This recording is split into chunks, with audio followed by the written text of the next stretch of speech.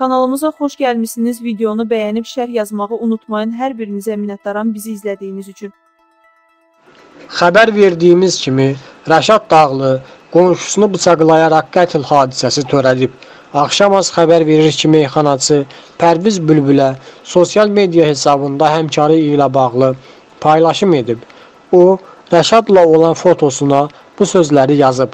Ağlımın ucundan keçməzdi ki, səninlə paylaşdığım şəklin şərhində Allah fərəz versin Rəşad yazaram. Allah qapını açsın şair. Hər ağızda bir amin var deyə şərh yazıb.